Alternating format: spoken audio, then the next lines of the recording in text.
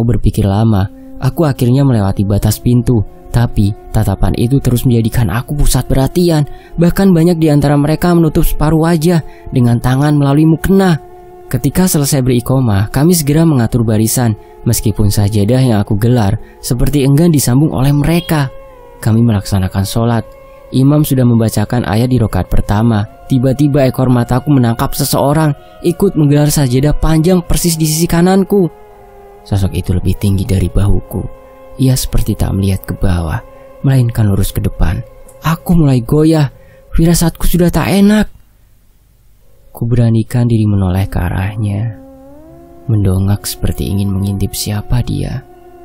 Tapi, belum sampai wajah kami saling menatap, dia tiba-tiba berpindah. Tak ada tanda-tanda langkah kaki terdengar, tapi Aku bisa melirik dia berjalan pelan ke belakang. Aku tak tahu dia menghilang atau sekedar sembunyi. Saat itu aku hanya merasakan angin berembus kencang menerpa bagian bahuku. Sesaat aku terguncang, tubuhku terasa terangkat. Setelah itu, aku sudah tak ingat apa-apa lagi. Kemarin, ada beberapa orang mengubur mayat di sebuah desa bagian timur TPU Coblong. Sesudah itu mereka duduk-duduk santai di sebuah tempat.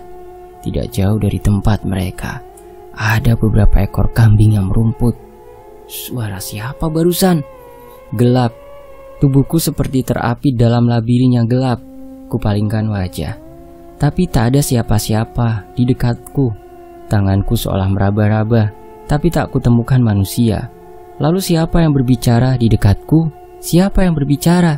Siapa yang ada di dekatku? Suara itu seperti suara layaknya sedang bercerita ringan. Ia seperti tak melihatku di dekatnya, padahal aku sedang merasakan ketakutan yang luar biasa. Lalu suara itu muncul lagi dan berkata, Mendadak, ada seekor kambing yang berlari menghampiri kubur tersebut. Ia mendekatkan telinganya seolah-olah sedang mendengarkan suara. Setelah itu ia lari terbirit-birit ke tempatnya semula dan bergabung dengan teman-temannya. Mendengar hikayat tersebut, seorang tiba-tiba ikut berkata, Aku tiba-tiba jadi teringat akan kematian dan ingat sabda Nabi. Sesungguhnya mereka sedang disiksa dengan azab yang bisa didengar oleh binatang. Manusia, manusia seperti ini. Sebuah tangan menyentuh bajuku, tapi aku tak bisa melihat sesuatu. Dia akan merasakan hidup kembali setelah dikubur ke dalam tanah. Menurut ajaran Islam, setelah ruh meninggalkan jasad atau mati, ruh akan menuju alam barzah atau alam kubur. Ruh akan ditanya oleh kedua malaikat mungkar dan akhir. Pertanyaan akan dimulai ketika proses penguburan telah selesai dan 70 langkah orang terakhir meninggalkan tempat dikuburkannya mayat. Sungguh memilukan. Makanya, aku selalu mengajak orang-orang beribadah, membaca Al-Quran, karena hanya itu yang bisa menolong kita di dalam kubur. Dia perempuan. Pahala dari bacaannya akan berwujud bidadari yang teramat cantik. Begitu juga sebaliknya jika dia laki-laki. Tunggu apa lagi? Ayo ambil kain kafan. Waktu keberangkatan mayit sudah dekat. Ayo. Aku lagi-lagi membuka mata. Tetapi tak menemukan apa-apa. Padahal aku ingat tadi lagi sholat berjamaah. Suara apa yang diperdengarkan padaku baru saja? Apa ini di dunia? Aku berusaha memberontak. Aku tidak ingin dibawa pergi. Aku mau pulang ke rumah Eyang. Begitu kuat aku mengerang, mengibah. Air mataku menetes deras. Nafasku tercekat di kerongkongan. Begitu usapan dingin menggeluti lenganku, tiba-tiba muncul suara anak kecil menjerit keras dari kejauhan. Mataku seolah mencari keberadaan anak itu, tapi tak satu pun cahaya yang memperlihatkan keberadaannya.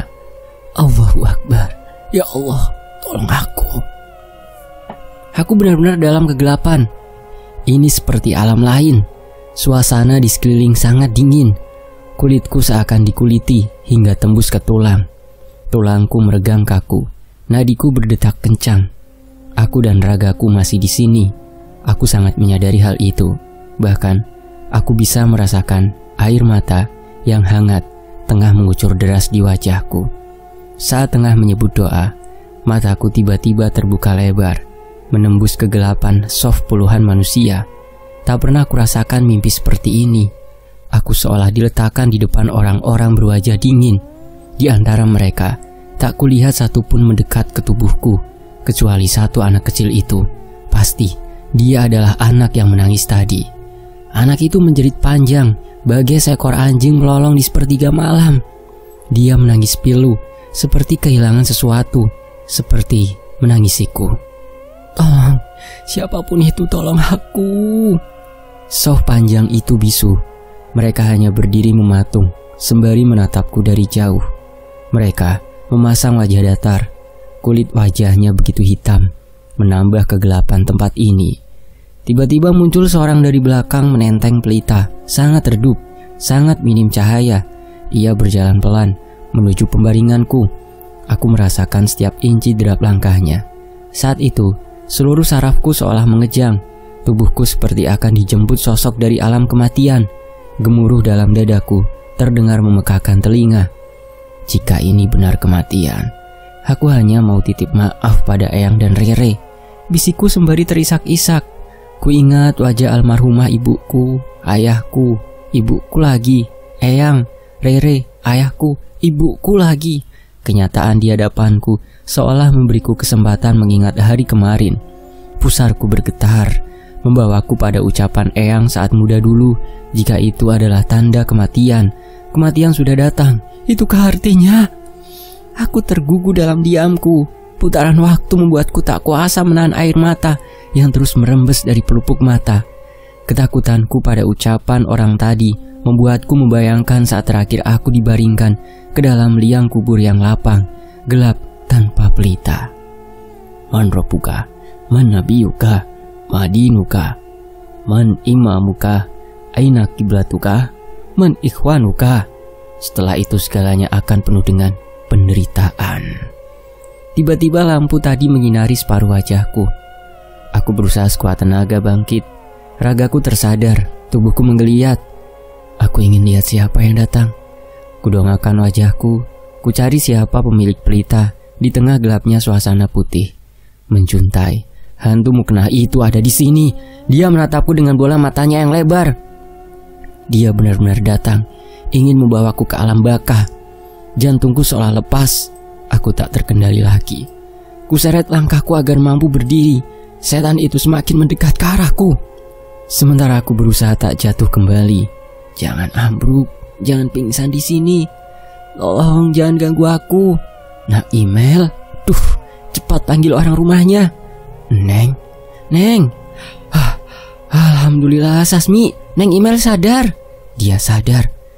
Kegelapan berganti lautan jamaah yang sudah aku kenali. Aku berada di antara pelukan ibu-ibu. Termasuk putri yang turut memeluk ujung kakiku dengan wajah tanpa ekspresi. Aku merasakan kelegaan yang tak bisa kulukis dengan kata-kata.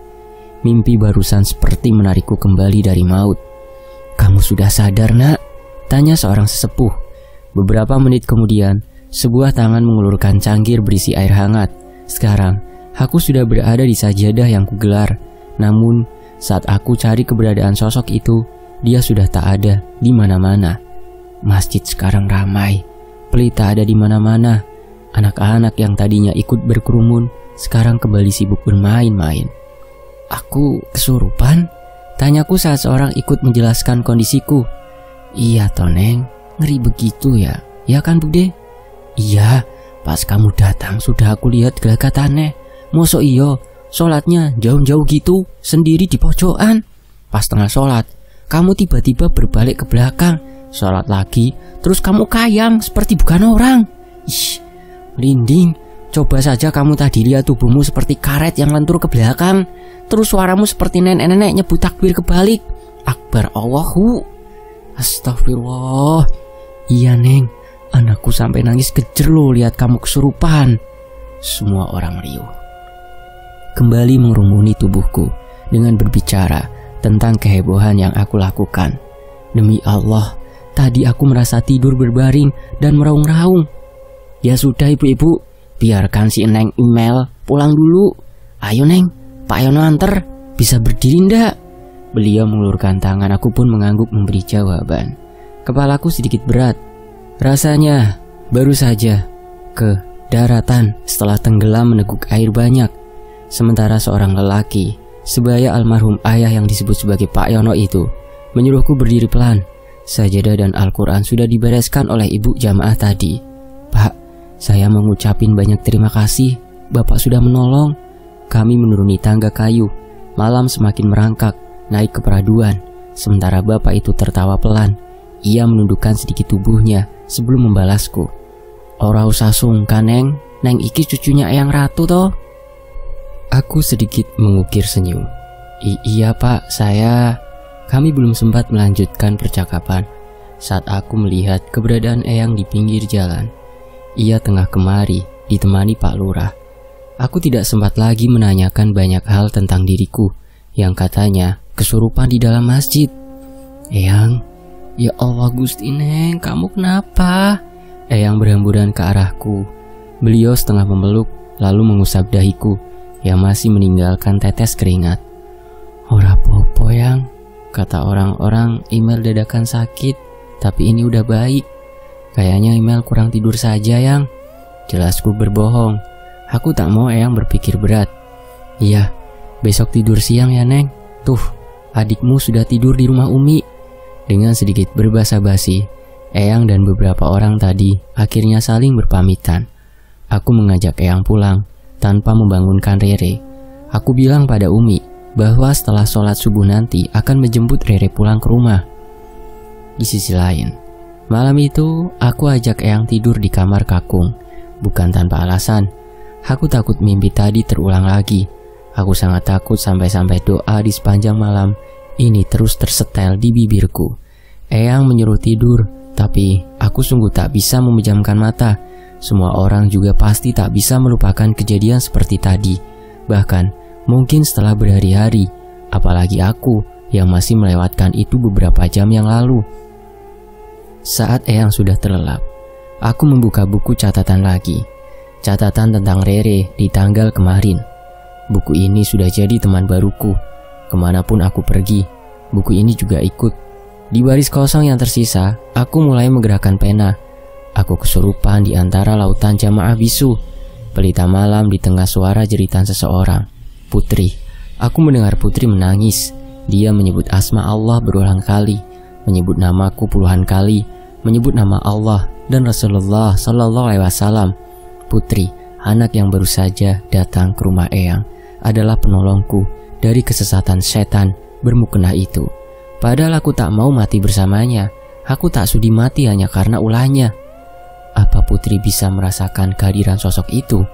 Pas tadi kerasukan, Aku sangat yakin anak lucu itu menangis memanggil namaku berulang kali. Neng, bukan kepalang rasanya, jantungku nyaris copot. Suara Eyang dari atas ranjang membuatku menatapnya tajam. Dia meminta maaf sembari terkekeh, lalu memarahiku karena tak kunjung tidur. Tak ingat waktu sahur, kalau begadang terus, Neng. Kamu itu kurang tidur, makanya sampai sakit. Tidur sini. Ntar yang nanggung Eyang kembali berbalik, lelap sampai mendengkur. Lagi-lagi ingatanku kembali pada kejadian tadi. Aku sungguh tidak mau kehilangan Eyang dan Rere. Aku tidak mau meninggalkan mereka. Aku tidak mau mati sia-sia. Aku mau hidup bahagia tanpa teror di kemudian hari. Ku tatap tubuh Eyang. Tubuh itu semakin ringkih dan berkeriput. Tapi Eyang tetap memancarkan sahaja di wajah putihnya. Ngomong-ngomong, bicara soal wajah Eyang, Eyang sekilas mirip Gloria Stewart, pemeran Rose DeWitt Bukater tua di film Titanic itu. Kulit Eyang cukup putih, matanya dalam, bulat, bibirnya tipis, dan ada lengkungan di kedua pipinya saat tertawa. Satu lagi, Eyang selalu pakai kacamata rantai, padahal usianya belum tua-tua amat. Pandanganku seketika beralih, kamar kakung setelah ditinggal Bang Hasi mulai berdebu lagi. Padahal suasana di sini tenang, Aku tak merasa gelisah seperti saat tidur di kamarku sendiri. Ku tatap sekitar ruang, ranjang kakung masih kokoh, meja beringas, bertandang di antara lemari, berpilar oranye. Aku terpana. Luar biasa kakung membeli semua perabot itu. Pasti harganya dulu sangat fantastis. Kenapa Eyang tak menyewakan saja kamar kakung? Kalau rumah banyak orang, pasti sosok itu akan pergi dengan sendirinya. Ideku sempat membuatku tertarik. Kuah dugaanku dengan semua rencanaku itu. Kutulis surat kecil segera mungkin tertuju pada Bang Hasim dengan isi yang meminta persetujuannya datang di hari Minggu membicarakan tentang hal penting ini. Aku juga besok akan ajak Eyang bermusyawarah. Bismillah, semoga Eyang mau dan setuju. Kalau setuju, hari Minggu juga aku dan Bang Hasim akan buat pengumuman di depan pagar. Tersedia satu kamar untuk dikontrakan. Sementara itu, Tak ada tanda-tanda alarm bunyi saat aku sadar telah melewati pertengahan malam. Aku yang masih enggan memejamkan mata, tiba-tiba teringat kejadian di masjid, memaksa diri tidur seperti menguras tenaga saja. Ujung-ujungnya pun aku tak bisa memejamkan mata. Rere, dia pasti sudah tidur tenang di rumah Umi, Eyang juga. Kulirik keberadaan Eyang. Eyang tidak mendengkur seperti tadi. Kebetulan, aku dan tubuh Eyang saling berhadapan. Bedanya hanya satu, tubuh Eyang terlentang, sementara tubuhku melengkung. Jarakku pun dari Eyang terbilang dekat. Otomatis aku bisa merasakan nafasnya yang hangat, tapi sekarang ini hal itu tidak terjadi. Eyang, Eyang meninggal. Jangan-jangan Eyang meninggal. Aku bangun dan duduk, iseng ku amati tubuh Eyang dengan mata telanjang. Nafas Eyang tidak berhembus. Dengan hati yang mulai melisik keadaan, Aku merasakan denyut jantungku berdebar seperti mesin penuh bahan bakar. Teramat energik. Lantas tanganku terulur pelan ke arah lubang hidung Eyang dengan jarak semakin menipis. Aku kembali teringat sebuah hal. Periksa perutnya. Kalau naik turun berarti masih bernafas. Sayangnya perut Eyang yang berselimut tipis tidak bergerak sama sekali. Kusinggap segera selimut yang tertadang di tubuhnya. Aku seolah-olah lupa diri, panik, emosi, ketakutan. Saat selimut tertarik turun hingga ke bawah pusarnya, tiba-tiba jari telunjuk Eyang yang terletak di kasur memacung tegang ke atas. Lama-lama jari itu bergerak pelan hingga telunjuknya menunjuk ventilasi kamar kakung. Di sisi lain, ini salah satu kejadian yang dialami aku. Ajeng Imelda Ningtyas pada pertengahan tahun 1983 hingga 1986 yang membuatku trauma. Bagaimana mungkin? Bagaimana mungkin mataku tak salah lihat? Di atas ventilasi yang tingginya hampir mencapai 5 meter dariku memunculkan wajah Wajah itu mengucapkan sesuatu yang tak aku fahami.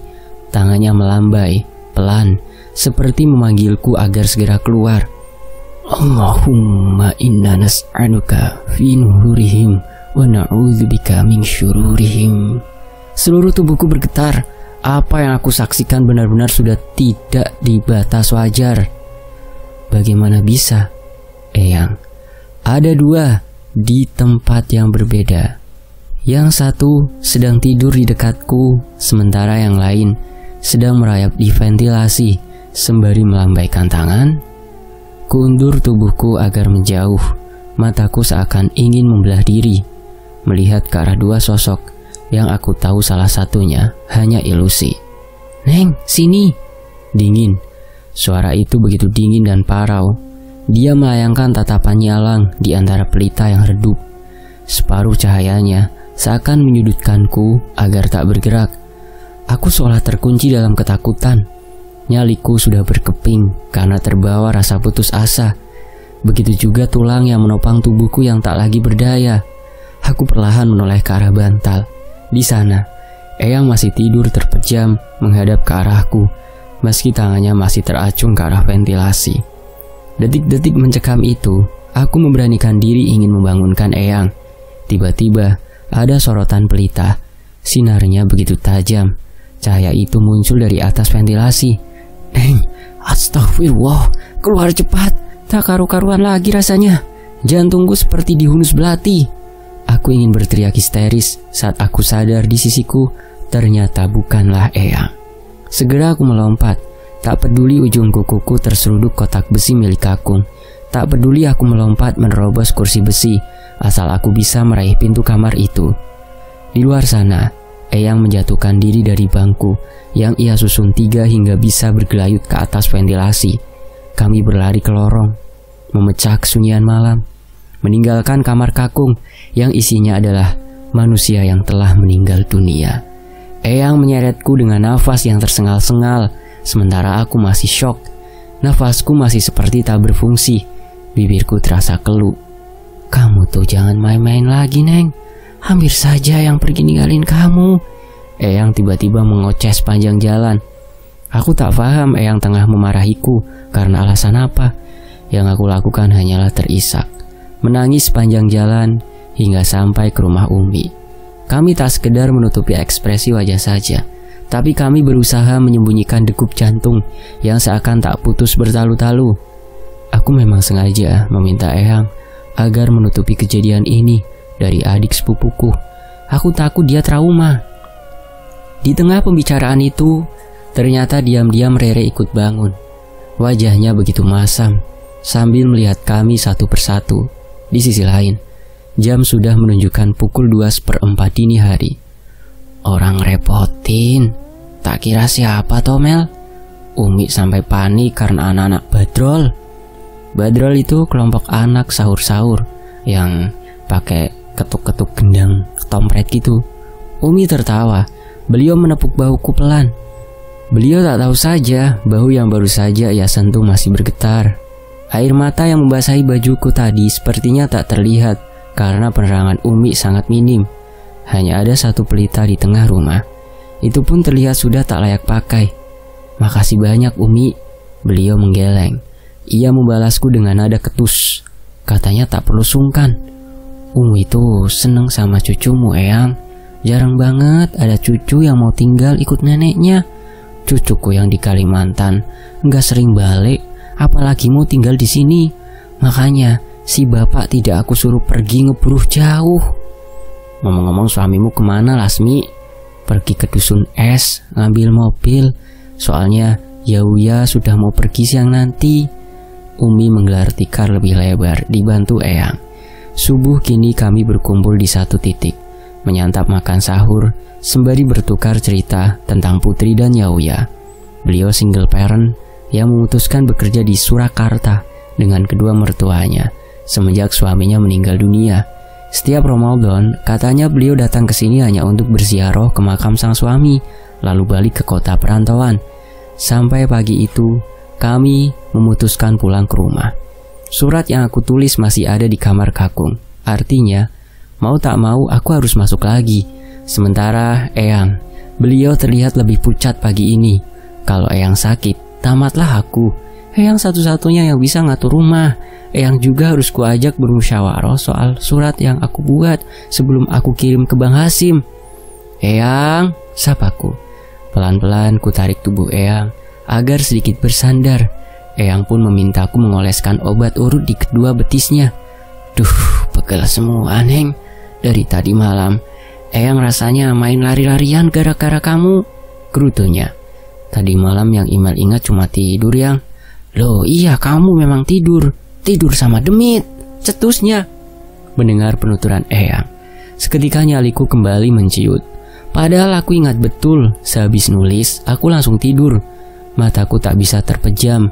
Bagaimana bisa posisi Eyang digantikan oleh pocong? Habis kamu nulis, Eyang langsung tidur.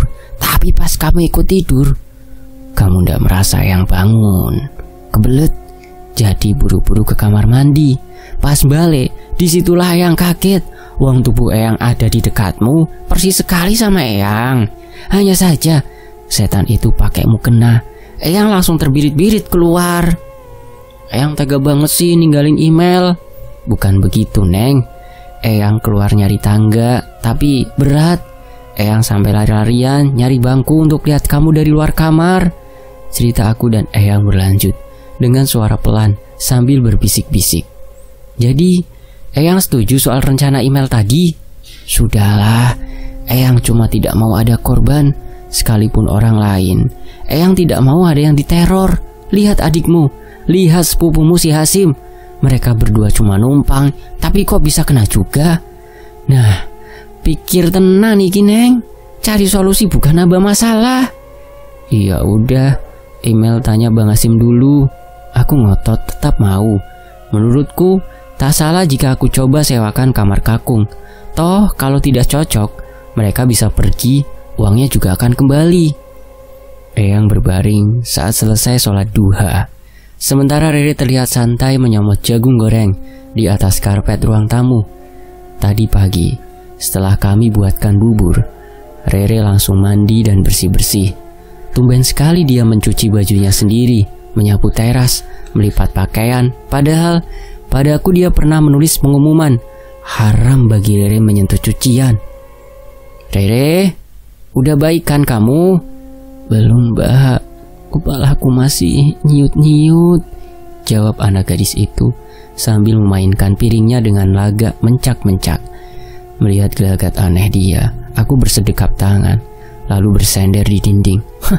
biasanya orang puasa tuh sakitnya di perut, bukan di kepala. Reres ketika tersendat-sendat. Biji jagungnya sampai beramburan ke lantai. Oh alam mbak, Rere ini terkena tension tape head ash atau sakit kepala tegang. Kalau lagi kambuh, syaraf di dalam kepala Rere kayak tarik tambang sama usus. Mungkin karena subuh tadi Umi ngasih makan rere cempedak, jadi sakit, Mbak. Sudahlah, Mbak aduin ke Eyang kalau kamu sudah sehat, tapi masih nggak puasa, baru tahu rasa kamu. Ia menenggut sebal, lalu berlalu ke dalam dapur. Saat itu, aku membuntuti Rere karena ingin melihat kamar kakung. Kamar kakung sepeninggal kami masih tertutup rapat. Kulihat Rere menuju tempat cuci piring, sementara aku bergegas masuk ke kamar itu Suasana pagi di kamar yang jarang diinjak orang rumah sepertinya tak berbeda. Auranya tenang, hangat, dan harum. Meskipun debu di permukaan meja itu terlihat menumpuk. Syukurlah sosok itu sudah hilang di atas kasur. Segera aku percepat langkah, mengambil barang-barangku, lalu berlari menyusul Rere yang sudah entah ke mana. Menjelang siang, kutuntaskan pekerjaan rumah, lalu pamit sebentar menuju depan jalan. Ini bang, alamatnya sudah saya tulis di kreseknya. Kusodorkan beberapa lembar uang kertas. Sementara Bang Husari menerimanya dengan senyum lebar. Obrolan kami sedikit berlanjut. Bang Husari sempat cerita banyak soal pemerintah Kabupaten Siliwangi yang akan menyiarkan berita tentang dibangunkannya pusat tenaga listrik. Sebulan sebelum bulan Ramadan ini, Aku memang sempat melihat mobil pengangkut barang berat menuju ke sebuah puncak Siliwangi. Radio? Radio sih ada bang, tapi Eyang malas denger. Email juga kan ikut-ikutan malas. Inge neng, radio itu banyak fungsinya. Bisa style musik, tausiah juga boleh. Nantilah email coba perbaiki, siapa tahu masih berfungsi. Kalau tidak, tak suruh Eyang beli baru. Eyang Ratu kan kaya neng, sudah baik, dermawan, aku saja masih kerja dua tahun di sini, sudah dianggap seperti saudara. Iya bang, eh, email sampai lupa ngasih bayaran. Beliau turut tertawa sungkan. Segera tangannya terulur sembari menebarkan canda. Hatur nuhun gelis. Sami-sami bang. Email duluan ya bang. Sama seperti biasa, langganan andong Eyang yang satu ini memang baik sekali. Makanya Eyang mengajariku agar selalu melebihkan ampaunya. Siap, Neng. Serunya lantas kembali menyiarkan keberangkatan. Deman Wawak, Cipas Kayu, Pasar Lima. Saat kembali rumah, terlihat bersih. Aku berjalan menuju kamar. Sengaja gorden di setiap pintu kusingkap. Tak terasa, waktu sudah di penghujung hari. Selepas sholat asar, entah mengapa, aku merasa pusarku bergetar hebat. Netraku perlahan merabun. Sampai-sampai semua yang ada di hadapanku terlihat tak punya bayangan. Yang, asar tadi email nggak dengar orang azan, kenapa ya? Tanyaku. Kami sudah berkumpul di meja makan, sebentar lagi akan berbuka puasa. Posisi Eyang saat itu tengah mengaduk teh. Beliau tiba-tiba menoleh. Masa iya? Orang di masjid pakai toa sebesar beduk subuh, kamu orang denger? Kalau tak azan lagi, dunia pasti mau kiamat, Neng. Sudah, Ngawurmu, sana ajak Rere ke sini. Aku enggan berdebat lagi. Aku berdalih jika aku hanya tak sadar dan melewatkan azan. Tapi, Semakin aku mengingat-ingat, semakin aku yakin kalau memang aku tak dengar adzan. Langkahku melesat. Seketika saat pintu kamarku terlihat bergerak pelan, aku pikir Rere tengah memainkan pintu. Tapi setelah pintuku dorong, tidak ada siapa-siapa di dalam sana. Re, Rere, iya, Rere menyahut di tengah kepanikanku. Ternyata suara Rere berasal dari luar halaman, bukan dari dalam kamar. Karena aku sudah membayangkan yang tidak-tidak, aku memutuskan untuk keluar mencari Rere, bukan masuk ke kamar. Ngapain maghrib gini di luar? Sana masuk. Anehnya, Rere yang melihatku datang awalnya mencibir. Namun saat perlahan ku dekati, Rere malah terpaku. Matanya menganalisis tubuhku, memperhatikan aku dari ujung kaki hingga ke ujung kepala. Astaga tai, hah kampret, kamu siapa? Rere tiba-tiba menjauh. Ia terlihat ketakutan. Hah, eh, pulangin baku. Rere, ini mbak. Kamu ngomong apa sih, Re? Rere terpaku. Ia terlihat menelan saliva berulang kali. Sementara aku, aku hanya mematung, takut, kesal, juga penasaran dengan yang dilihat Rere. Karena waktu singkat, tak cukup membuat Rere mengakui penjelasannya. Aku memintanya manut, segera masuk, lalu menemani kami berbuka puasa. Keanehan yang terjadi itu sekilas membuat Rere terdiam. Dia yang kemarin-kemarin semangat melahap kue buatan Eyang, sekarang hanya memainkan sendok. Matanya menyerotiku dengan intens, seperti anjing pelacak yang seakan ingin menyeruduk korbannya. Aku rasanya ingin memekik dengan suara lepas dan lantang. Peragai keduanya membuatku teramat bingung. Semua karena sosok itu. Aku tak tahu dia datang karena membawa dendam atau sebagai alat mencari tumbal. Aku hanya yakin jika sosok itu tidak akan pergi setelah mengambil banyak nyawa dan karena itulah aku tidak terima. Eyang, mbakku itu kepalanya ke mana sepotong? Bersambung, nantikan kelanjutannya hanya di Fakta Sejarah. Terima kasih Kak Sulepena, terima kasih teman-teman yang sudah menyimak kisah ini di sini. Nantikan kelanjutannya hanya di Fakta Sejarah. Demikianlah bagian ke-8. Saya pamit ya. Wassalamualaikum warahmatullahi wabarakatuh. Alhamdulillah.